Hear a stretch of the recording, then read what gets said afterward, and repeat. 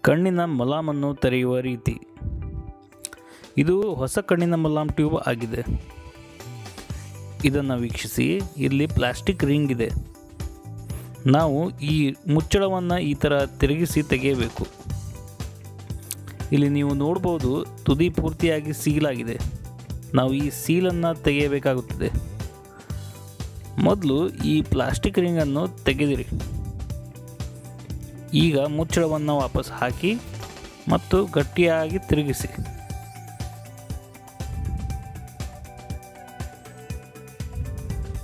ಈ ಮುಚ್ಚಳದ ಈ ಮೇಲಿನ ಭಾಗ ಮಾತ್ರ ತೆಗೆಯಿರಿ. ಮತ್ತು ಮಲಾಮ್ ಹೊರಗಡೆ ಬರೋದನ್ನು ಖಾತ್ರಿ ಮಾಡಿ.